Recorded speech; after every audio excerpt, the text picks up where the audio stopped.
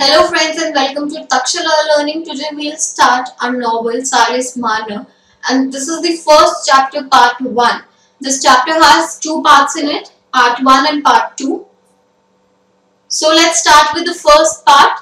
Once upon a time, it was a common sight to see men bent under heavy bags in country areas. It was very common to see people जिनकी bag जो थी वो bend हुई हुई होती थी और ऐसा यूजुअली कंट्री एरियाज़ के अंदर कंट्री साइड्स में होता था।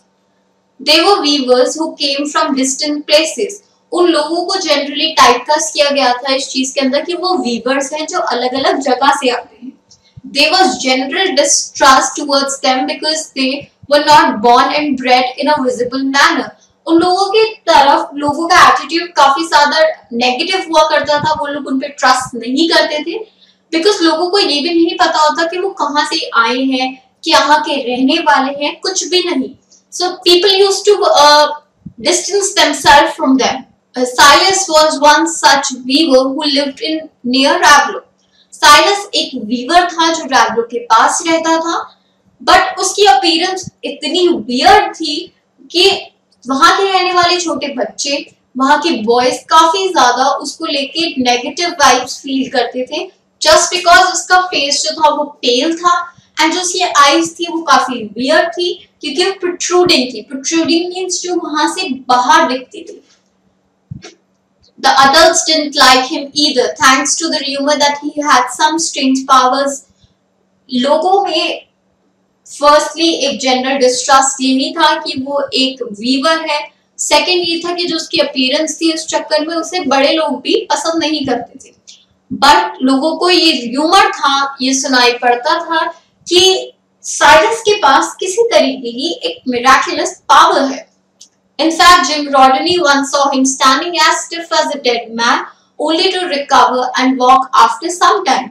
Silas को वैसे वो बेंट रहता था बट एक दिन जिम रॉडनी ने एकदम उसे स्टिफली खड़े हुए देखा और ये जज कर लिया कि शायद इसके खड़े होने का रीजन ही यही है कि वो एक मिराकुलस पावर से फुलफिल्ड है। Silas has also cured Sally Otis when she was sick. Silas ने Sally Otis तक को भी क्योर किया था बिकॉज़ सेम डे के अंदर उसकी मदर की एलिमेंट थी, जिनसे उनकी डेथ हुई थी एंड साइलस इस चीज़ का इलाज जानता था। लोगों को दोबारा लगने लगा कि साइलस के पास फिर से भी मिराकुलस पावर है। But people consider it's best to be on his good side लोगों ने ये सोचा कि साइलस के साथ तुम अच्छे से रहोगे तो बहुत तुम्हारे लिए बेनिफिशियल है। साइलस केम टू रैबलो 15 years earlier from a city to the north Silas 15 साल पहले रैबलो से आया था, एक सिटी से जो कि नॉर्थ में थी। He had been a faithful member of a religious sect in Lantern Yard वो एक बहुत ही फेथफुल एक वफादार आदमी था, एक रिलीजियस सेक्टर का, जो लैंटन यार्ड में थी। His initial fits of unconsciousness were seen as the indication of special grace. जो उसको इनिशियली फिट्स पढ़ते थे, जिस चक्कर में वो अनकॉन्शियस बेहोश हो जाता था, उसका रीजन यही लिया गया कि साइलस के पास एक स्पेशल ग्रेस है। He had a very close friend, William Day. They were so close that they were even called David and Jonathan Silas का एक बेस्ट फ्रेंड था एक बहुत अच्छा पैल था जिसका नाम था विलियम डेन विलियम डेन और वो इतने क्लोज थे कि लोग उससे डेविड एंड जॉनथन के नाम से भी बुलाते थे उनकी फ्रेंडशिप इतनी स्ट्रॉन्ग थी So we'll continue with the full, uh, first chapter itself, the second part. This friendship did not cool down even after Silas' engagement to a young serving women. Silas और William की friendship में कोई changes अभी भी नहीं आए थे जबकि साइलस की एंगेजमेंट एक विमेन से हो चुकी थी However, William did thank that his fit was visitation of Saturn and Silas was pained by this. उसने जाके उस विमेन से ये कन्फेस किया कि साइलस को ये सब एक सैटन की विजिटेशन की वजह से होता है एंड इस चीज़ से उसे दर्द भी होता है it was at this time the senior deacon fell ill and members of the congregation took turns to look after him. जो सीनियर डीकन जो चर्च के मेंबर थे उनकी तबीयत ज़्यादा खराब होती है लोगों ने ये डिसाइड किया कंक्रीशन ने जो वहाँ का ग्रुप था कि हम लोग उनका ख्याल रखेंगे। The deacon died during Silas's turn अलग अलग टाइम पे लोग वहाँ जाके उनको लुक आफ्टर करते थे बट जो डेथ थी डीकन की, वो साइलस के टर्न में हो गई। The latter went to seek help but didn't find uh, but not finding any he went to work जब वो लोगों के पास गया इस चीज़ की मदद लेने उसे कोई नहीं मिला तो इसलिए वो अपने काम में लगे The minister along with William came to take him to the vestry जो मिनिस्टर थे वहाँ के वो साइलस को अपने साथ ले गए और उन्होंने उससे कुछ बात करी। It was disclose that a bag of money had been taken from the deacon's bureau and Silas knife's had been found there ये पता लगा लोगों को कि साइलस जब वहाँ रुका था, जब डीकन की डेथ हुई थी तो उसके कैबिनेट में से पैसों का एक बैग चोरी हो चुका था। But the most important thing to remember is कि वहाँ पे साइलस का नाइफ पकड़ा गया। The empty bag was found in his room after a search जो खाली बैग था वो उनके रूम में ही मिला it was then that Silas Remember the time he had last used the knife? It was to cut a strap for William. Silas को ये बात याद थी कि वो नाइफ उसने आखिरी बार तब यूज़ किया था, जब विलियम के उसने कट किया था एक स्ट्रैप ही सेड नथिंग इतनी अच्छी बॉन्डिंग थी, इतनी अच्छी फ्रेंडशिप थी कि साइलस ने इस बात का कभी ज़िक्र ही नहीं किया कि वो नाइफ उसने विलियम को दिया था the church member decided to draw lots to see whether Silas told the truth church के मेंबर्स ने काफ़ी ये कोशिश करी कि साइलस इस चीज़ को कन्फेस करे, इस चीज़ को एडमिट करे कि डीकन की डेथ के पीछे साइलस का हाथ है। वॉज़ डिक्लेयर्ड गिल्टी साइलस को इस चीज़ के लिए गिल्टी प्रूव किया गया। He was so disappointed and disillusion that he declared that there was no just God इस तरीके से वो डिसअपॉइंटेड था, इस तरीके से वो हर्ट था कि उसने बोला कि गॉड के यहाँ पे इंसाफ नहीं है there is no just God there is no fair God he accused William of the theft but to no avail, Sarah broke their engagement just as he expected. उसने विलियम को एक बार भी अक्यूज नहीं किया इस चीज़ को लेके बट टू नो सरप्राइज़ हमें ये पता था ऑलरेडी कि सारा जो उसकी फियांसे है उसने उसके साथ एंगेजमेंट तोड़ दी। She married William Dane a month later and Silas left Lantern forever उसने एक महीने बाद विलियम से शादी कर ली एंड शादी करने के बाद ही साइलस ने ये देखा कि अब वो यहाँ नहीं रह सकता है so he left Lantern chapter two Silas Marner, Part 1. After he left Flandrian, Marinus settled down in the village of Rablo. जैसे ही साइलस ने लैंडिन यार्ड छोड़ा वो रैबलो एक विलेज में जाकर रहने लगा। This place was completely opposite to Lantern Yard ये जगह लैंडिन यार्ड से एकदम अलग थी एकदम डिफरेंट थी। It was a land it was a land of plenty without any of austerities seriousness of devout churchgoers on Lantern Yard ये बहुत डिफरेंट था, वहाँ पे चर्च गोअर्स बहुत कम थे and it was full of land वो जगह काफ़ी बड़ी थी। William Dane's betrayal left Silas in state of shock William Dane जो उसका फ्रेंड था, उसके, उस धोखे से साइलस अभी भी बहुत शॉक था। He therefore sought solace in his loom, where where he worked day and night. उसने अपनी खुशी, अपना दुख, सब कुछ सिर्फ़ अपने लूम के अंदर ही कंसिडर करना स्टार्ट कर दिया जहाँ वो दिन रात काम करता था। He continued in the same fashion when he settled in Raveloe उसने उसी सेम वे के अंदर रैवलो में भी काम करना स्टार्ट कर दिया। The table linen that he finished for Mrs Osgood earn him five gold guineas उसने जो टेबल लिनिंग बनाया था मिसेस ओसगुड के लिए, उससे उसे फाइव गोल्ड गिनीज मिली। Thus a new and powerful force entered in his life. एक new and powerful force उसकी लाइफ में आ गए थे और वो था पैसा In his initial days at Ravlu, he didn't get opportunity for uh, for to meet people and make friends with them. Initial days जो उसके पहले पहले दिन थे शुरुआती दिन थे रैवलो के अंदर वहाँ उसे कोई मौका ऐसा नहीं मिला कि वो लोगों से मिले या फिर नए दोस्त बना सके Once he saw the cobbler's wife in a fit of dropsy, he recognized the symptoms since his mother had died in the same manner.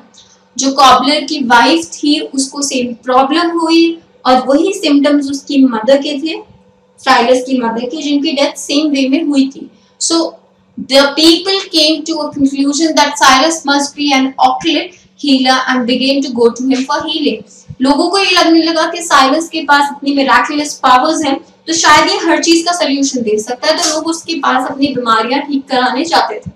Silas, however, refused their request, hence they thought he didn't want to help him. ऐसा कुछ नहीं था कि Silas को ऐसी हर बीमारी को solve करना आता था।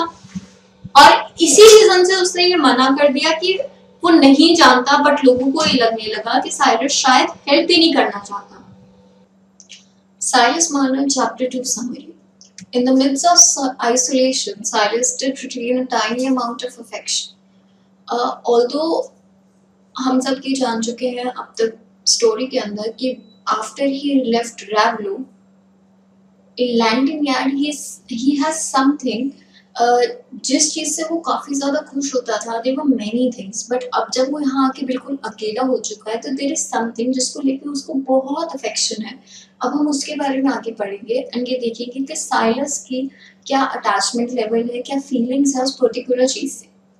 He had a brown earthenware pot that he used to keep Silas के पास एक ब्राउन कलर का earthenware pot था जिसके अंदर वो पानी रखता था उसके लिए उसके अंदर बहुत एक्सट्रीम अफेक्शनेट फीलिंग्स थी उसको बहुत ज़्यादा उस चीज़ से लगाव था He was very affectionate towards it. But one day while returning from the well, he stumbled on a stile and dropped his pot. एक दिन जब वो उसी पॉट के अंदर वेल से पानी भर के ला रहा था अपने घर की तरफ़ तभी वो गलती से स्लिप होता है एंड उस टाइल के ऊपर उसका पैर लगता है एंड वो पॉट गिर जाता है। It broke into three pieces जैसे ही वो गिरता है पॉट अर्दिन वे पॉट जिसको लेके वो बहुत अफेक्शनेट होता है वो थ्री पीसेस में डिवाइड होता है वो टूट जाता है। He gather the fragments put them together and placed then uh, place the uh, place the restored pot in its usual place as even though वो पॉट टूट चुका है बट स्टिल उसे पता है कि अब वो किसी के काम का नहीं है बट स्टिल उसे इतना अटैचमेंट लेवल है कि वो उस पॉट को उठाता है। उसकी तीनों फ्रैगमेंट्स टूटे हुए पीसेस को लेता है एंड एक तरीके से असेंबल कर देता है दोबारा। इसलिए नहीं कि वो उसके काम आएगा बट इसलिए कि उसके पास एक मेमोरियल है, एक याद है कि इसी पॉट में वो पानी भरता था, इसी पॉट से वो पानी पीता था। In case all the time he spent in Ravlo, his existence revolved around weaving and hoarding his coins.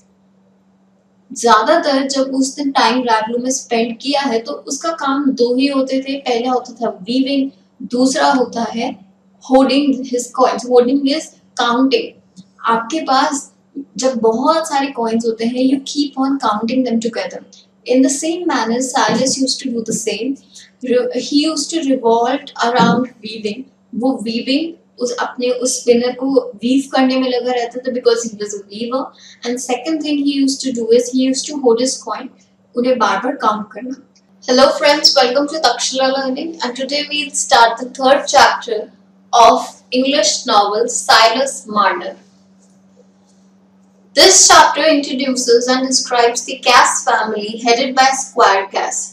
इस चैप्टर के अंदर हम जो सबसे पहली बात नोट करेंगे वो ये होगी कि यहाँ पे कैस फैमिली का ज़िक्र हो रहा है कैस फैमिली का हेड कौन है वो है स्क्वायर कैस जो स्क्वायर कैस है, वो रैगलो में ही रहता है एंड उसकी फैमिली काफ़ी बड़ी है, काफ़ी वेल्दी है एंड अब हम उसकी फैमिली के बारे में पढ़ेंगे They came from an important and a very wealthy, noble lineage. Godfrey and Dunstan were two of the four sons of the squire. जो स्क्वायर कैस की फैमिली है, वो काफ़ी वेल्दी है, काफ़ी पैसे वाली है और नोबल मतलब बहुत ही ज़्यादा रिस्पेक्टेबल फैमिली है वो। एंड इस रिस्पेक्टेबल फैमिली के हमें दो जनों के नाम पता लगे हैं। पहला है Godfrey and second is Dunstan ये दो बेटे हैं स्क्वायर कैस के। इन टोटल स्क्वायर कैस के चार बेटे हैं। चार में से दो का नाम हम जान चुके हैं। While Dunstan was considered the mischievous one, Godfrey wasn't seen to be following in his brothers. Dunstan जो था वो थोड़ा सा सस्पिशियस होता था उसकी बातों को आप कभी नहीं जान पाते थे लेकिन जो गॉडफ्रे था वो अपने भाई की तरह बिल्कुल भी नहीं था वो उससे काफ़ी डिफरेंट था However, they realize that they need each other for their own selfish motives. यहाँ पे हम ये देख रहे हैं कि गॉडफ्रे और डंस्टन दोनों बहुत ही सेल्फिश हैं वो दोनों भाई आपस में बात भी अपने सेल्फिश मोटिव्स को सेटिस्फाई करने के लिए करते थे। जब उन्हें किसी एक दूसरे से काम होता था तो तभी एक दूसरे से बातचीत करते थे। Dunstan hinted Godfrey's dark secret his marriage to a drunken woman Molly Farren without the knowledge of his father Dunstan हमेशा गॉडफ्रे को उसकी शादी के लिए थ्रेटन करता था, उसे धमकी देता था कि वो अपने पापा को ये बात बता देगा कि गॉडफ्रे ने एक ऐसी लड़की से शादी करी है जो बहुत ज़्यादा अल्कोहल कंज्यूम करती है। उस लड़की का नाम है मॉली फैरन। मॉली फैरन और गॉडफ्रे की शादी, जो स्क्वायर कैस है, उनकी रजामंदी के बगैर हुई है और उनके नॉलेज में ये बात नहीं है कि इन दोनों ने शादी कर रखी है। इसी चीज़ का फ़ायदा उठाते हुए डंस्टन हमेशा अपने सारे काम गॉडफ्रे से निकलवा लेता है। वो ये कहकर कि वरना वो अपने पापा को ये बात बता देगा कि उसने किस लड़की से शादी करी। है Godfrey was now in love with Nancy Lamiter, but couldn't marry her or even express his feelings to. Godfrey ने शादी मॉली फैरन से करी है, अपने पापा की रजामंदी के बगैर। लेकिन जो नैन्सी लैमेंटर है नैन्सी लैमेंटर के साथ गॉडफ्रे को प्यार हो जाता है और गॉडफ्रे लेकिन अपनी शादी उससे नहीं कर पाता और ना ही अपनी फीलिंग्स का उसके आगे एक्सप्रेस कर पाता। रीजन सिर्फ़ इतना है क्यों? क्योंकि वो ऑलरेडी मैरिड है। Moreover, he seemed to be in financial trouble, having borrowed money from his father's tenant. जो गॉडफ्रे है, उसके पास एक और दिक्कत है। वो पहली बात तो फाइनेंशियल क्राइसिस में चल रहा है, पैसे की उसके यहाँ तंगी है। लेकिन इस तंगी के चलते गॉडफ्रे ने उसके पापा के यहाँ जो किराएदार था, उससे पैसे उधार लिए होते हैं। Dunstan used his information as a leverage to blackmail Godfrey into doing him favors. Dunstan को गॉडफ्रे की इन सारी हरकतों का पता था और वो इसी चीज़ का फ़ायदा उठाता हुआ उसे ब्लैकमेल करता था और अपने सारे काम करवाता था जो वो करना चाहता है He succeeded in convincing his brother to sell his prized horse Wildfire in order to settle the debt. Godfrey को अपना ये कर्ज चुकाना था उस टेनेंट को और इसीलिए डंस्टन ने फ़ायदा उठाया और उसने कन्विंस कर लिया गॉडफ्रे को कि आप अपना जो आपका घोड़ा है, जिसकी बहुत ज़्यादा वैल्यू है, जिसका नाम वाइट फायर है, आप उसको बेच दो ताकि आप अपने डेट को क्लियर कर सको, अपने सारे उधार चुका सको। Godfrey pondered upon his situation at the end of the the yoke man creates for himself by wrong doing breed hate in the kindliest nature It seems that his good-humored, affectionate heart-hearted young man was fast becoming a bitter man. धीरे धीरे Godfrey का nature change होने लगता है इन situations के बारे में सोच सोच कर यहाँ पे एक फ्रेज दे रखा है the yoke man creates for himself by wrongdoing will breed hate in the kindliest nature इसका मतलब यही है कि एक आदमी जो अपने लिए सारी दिक्कतें क्रिएट खुद करता है वो आखिर में सिर्फ़ और सिर्फ़ नफरत के काबिल बन जाता है, नफरत के लायक बन जाता है और बहुत ही सहजता से, बहुत ही प्यार से। इट सीम दैट दिस धीरे धीरे गॉडफ्रे की जो असली आइडेंटिटी है, वो फेड हो जाती है, वो काफ़ी अच्छा दिल का होता है। लेकिन तेज़ी से अब वो एक ऐसा इंसान बन रहा है जिसका दिल साफ़ नहीं है। Chapter four Silas Marner summary Dunstan Cass set off early to sell Wildfire Dunstan जल्दी घर से निकलता है वाइल्डफायर को जो उसका हॉर्स है उसको बेचने के लिए On his way, he contemplated the prospect of suggesting Godfrey to persuade Cyrus to lend off money from the gold he has been hoarding over the years. उसके दिमाग में तभी एक ख्याल आता है कि वो गॉडफ्रे को इस चीज़ के लिए परस्यू कर दे कि वो साइरस से कुछ दिन के लिए पैसा उधार ले ले उन बिहाफ पे जो उसके पास गोल्ड है He was able to negotiate a good price for the horse, but while on his way to delivering the animal at the appointed place, he decided to win some money by participating in a hunt of a hunt with dogs. अब वो उसी रास्ते में है वहाँ पे वो सोच के चलता है कि जो जो गॉडफ्रे का हॉर्स है वाइल्ड फायर उसको वो काफ़ी अच्छा प्राइस लेगा एंड उस जगह पे ही वो जा रहा होता है जहाँ पे एनिमल को उसे डिलीवर करना होता है but at the same time उसके दिमाग में ये बात आती है कि चलो कुछ टाइम वो अपना या कुछ पैसा वो और कमा ले डॉग्स को हंट करने में Unfortunately for him, tragedy struck during the hunt. While jumping a fence, Wildfire got pierced with a hedge stack and died immediately.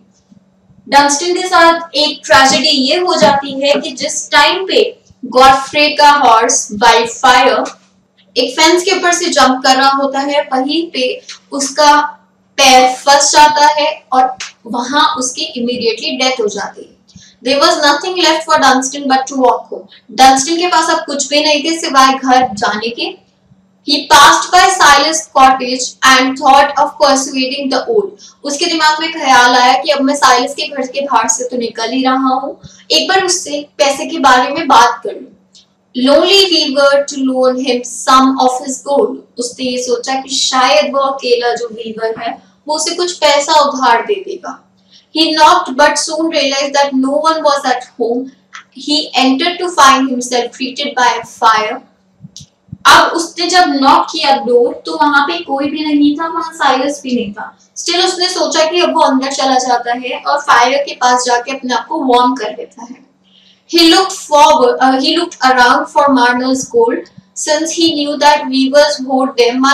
उसको इतना पता था कि साइलस का जो पैसा है, वो कहीं ना कहीं छुपा हुआ है। और उसने सोचा कि अब वो कुछ ढूँढने स्टार्ट करता है। और वो ढूंढना क्या स्टार्ट करता है? वो है साइलस का gold He removed some sandy bricks only to discover bags of Silas gold. उसने सैंडी ब्रिक्स जो वहाँ पे जो पूरी ईटे थी उन्हें हटाई एंड वहाँ से साइलस का गोल्ड बैग ले लिया He picked them and walked out in the darkness. उसने वो बैग्स उठाए और वो बाहर चला गया अंधेरे में ताकि उसे कोई देख ना सके वीवा का पैसा लेके thank you Thanks for watching.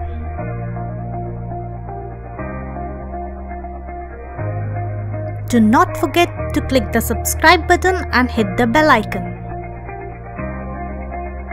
Do like, comment and share. See you next time. Subscribe and hit the bell icon.